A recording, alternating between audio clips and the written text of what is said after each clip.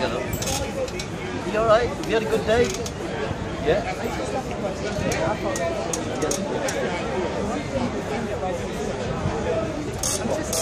Homosexuality.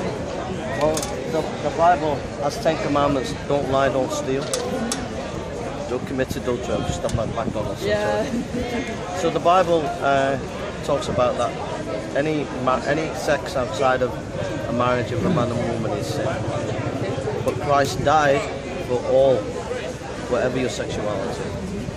You know, and we're not defined at first by our sexual identity or whether we're a man or woman first. We're ident- our identity is in Christ first. So I would I would say that society is going the wrong way about it. That we, we have to identify who we are in Christ. The Bible says we're new creatures in Christ. So, Now there's a lady called uh, Rosary Butterfield. She was a lesbian.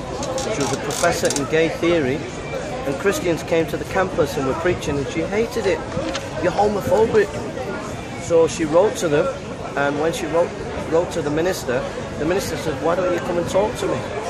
So she went to the house and talked to him and she found that he wasn't as judgmental as he thought she thought he what he thought she, she thought he was going to be. And then she asked he asked her, Can you give me arguments to defend your lesbianism? She's a professor in it and she couldn't give any arguments for it. And he gave arguments for Christianity. And now she, she's a, she's married to a guy with kids. And I've told that story to lesbians and they say, oh, she was bisexual. But in her story, she definitely says she was a lesbian. She came to know the Lord Jesus. And now she's written books and she lectures and debates people arguing for Christianity. Do you that homosexuality is uh, unnatural? Well, if you Do you, do you think that there's no such as no way that people can be homosexual? Well, my, my sister's a lesbian. But no?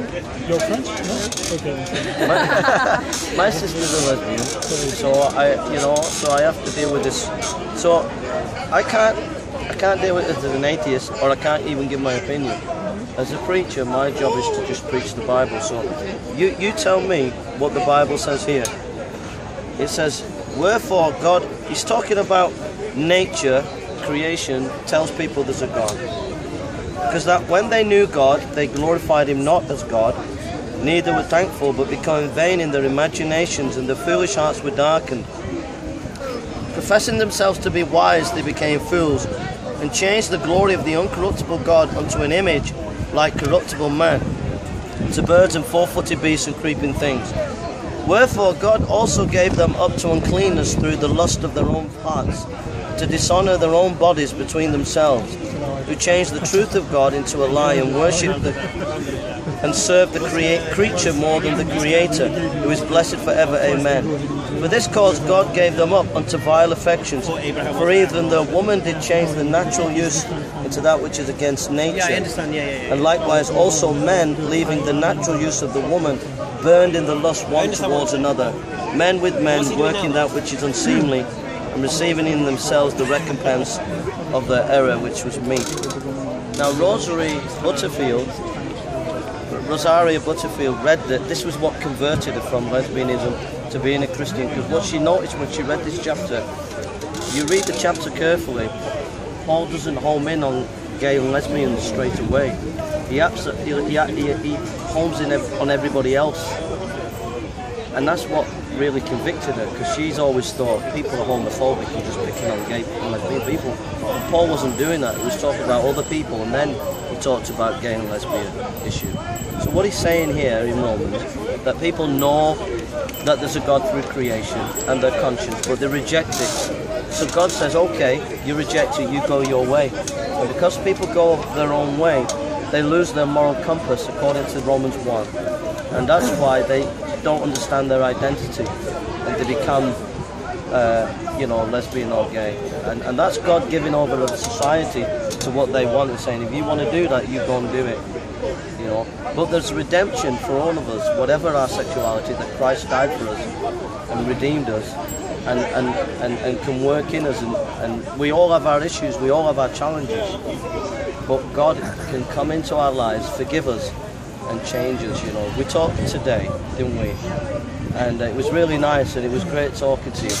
But you know, one day we're going to die. And if there's a fire, if there was a fire in a house, and you're in there, and you couldn't get out because you you fell, and I was outside and I could see the fire, you would want me to run in and jump in and help you. But what if what if somebody turned around and said, "Don't go to the fire," and I said, "Why?" It's politically correct not to go to the fire and help. I said, "Oh, I've got to listen to political correctness, but my friend is going to burn in the fire. I need to go and help." So we have political correctness that says homophobia and all the rest of it. But the Bible trumps political correctness. And it tells you there's a fire, a judgment day. And Christ has paid your debt. So who are you going to listen to? Political correctness, or is there a fire? And has God paved the way for you? You know? Um, I don't. Everybody's got their own issues, own challenges. I don't think it's right to demonise any individual group or group or indiv- you know demonise groups.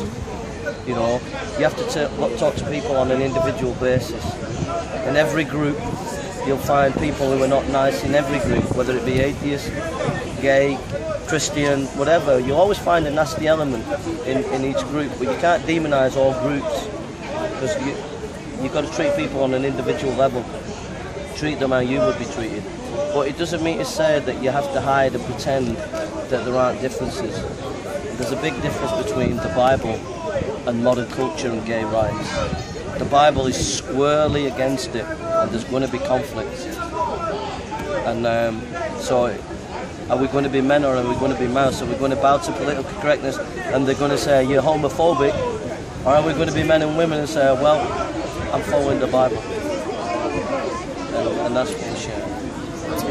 I hope that's been a help to you. I've been trying to be honest with you. So I just, I was just curious what you would say to that. So what, what are your thoughts? What are your thoughts? Well, since I'm uh, bisexual myself, Yes, yes. I'm well. What I think about everything, about being gay, about being lesbian, about believing in every religion, everyone should do and believe what they want, Yeah. what they feel like is right, as long as they don't hurt every anyone else. Yeah, yeah. As long as they're true to themselves and don't hurt anyone. That's what I Push their opinions. yeah, or push their opinions on others. Because as long as I, as I don't believe in God, I don't, I'm not a Christian, but I respect everyone who believes in that, and I don't want to hurt anyone with that. I try to. I mean, I Yeah, hope I yeah, never yeah, hurt anyone with that. and I will never hurt anyone with that. And I understand your opinion on that. I respect that. Maybe we don't have the same opinion, but that's. It would be yeah, that's life. It would be kind of sad if everyone had the same opinion on, on everything. That would be kind of boring, I guess. Well, I, I, I, I hear what you're saying. I think that one of the things uh, for me is, um, you know, if you've got a little boy or a little girl and they've been abused and they've been they've had a terrible life and they're just lost and they just don't know where, who they are, and then one day the little boy gets adopted to a rich family, millionaire, and and then that father is a great scientist and the mother's a great pianist and the little boy grows up with an identity. He knows who he is now, right? And God wants us to have an identity, and that identity is to know who we are in Christ. And when we find that identity, then we really know who we are. Then our sexuality slots into place. But until we find that real identity of who we are in Christ, then we're kind of like that little boy. We're, we're kind of like lost. We, we try to, we, we kind of reach out for different things. But until we've been adopted and until we have that home where we know that, that we have that real identity and, and discover who we really are.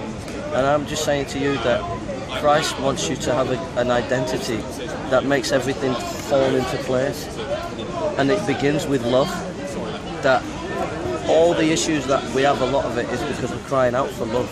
But the greatest love that you could ever know is that Christ came and died for you. And He wants you to know that love. And once you know that love and tasted of that love that He died for you, then all the other issues will fall into place. Then you really know who you are. You know, and there's always things picking our head, things in our minds, negative thoughts, people who've been negative to us in the past. Even when we're very, very positive, we still peck our heads with negativity. And it's attacking our identity and we get down with it, people's negativity to us. But once we, we come to Christ, he says there is, you remember that? I, I said it earlier today. There is now no condemnation to them that are in Christ. But once you're in Christ, there's no condemnation. That you know that you're right with your Father, and then He begins to work inside you and, and help you to reorientate and that you know that your identity so that nobody can peck your head and you can't peck your head anymore. You know how we torture ourselves, pecking our head and asking questions and stuff. And we can find that peace in our life. And then we can work it out where we can show love to other people. So for example, you know, that love is like wanting to treat other people the way you want to be treated. So if you allow Christ to change you and allow Christ, then you can have relationships with people that's going to bless them rather than take advantage of them. Because you, once you know who you are and securing yourself, then you can help other people. But if you're not securing yourself, you're just going to abuse other people even though you might not realize it because because you're you've got issues and you put your issues onto other people once you get a sense of who you are in Christ things slowly begin to fall into place you know and that's what we're sharing today that Christ died for you he loved you died for you and if you trust him you'll you'll know a love and a peace in your life you know and and I'm not saying it'll be easy right? Do you know how many Christians are, uh, are killed every year? Tens of thousands of Christians that die as martyrs every year. So if you become a Christian in this country, number one thing that you'll be called is a Bible basher, right? So it's not easy being a Christian, right? And also people say, oh, you don't have to follow the Bible, and you can interpret it the way you want. You know, it, it does teach about gay lifestyle. So people try to change it that way. Some people try to tell you that you shouldn't preach the gospel. And if you go and be a, a missionary to a foreign country, you might lose your life. So being a Christian isn't a crutch. It's not hiding from life. You have to be a real man and woman to stand up for Jesus. So it costs Christ everything, but he doesn't give it cheap. He wants you to give your life to him and lay your life for him. You know, you're, you're young people and you're lovely young people, but you've got a life ahead of you. You know, and God has a plan for you. But are you going to walk in that plan? Let Him work in you. Let Him deal with the issues in your life. I've got issues. We all have issues. There's not one person on this planet that doesn't have an issue. if the person says that they don't have an issue, that's an issue itself. It's called pride. We all have issues. Even the most holiest person on the planet has an issue. And, and God's moulding us slowly but surely changing us. And if you trust Christ, I can guarantee in 10 years' time, if I see you, you you'd have changed for the better. If you let me change. Does that make sense? So I would just encourage you to trust Jesus and, and trust Him as your Lord and Saviour. Do you want to do that? think about it. Will you think about it? Yeah. Okay. I don't want to say yes, I will do it because I'm not sure about it, and I don't want to make any promises to say. Yeah, just let it sink Let in, it think sink. about it, and then maybe I don't know. Are you, are you on holiday? Yeah. You're on holiday. Well, it's good to see you guys, and uh, you know, God bless you.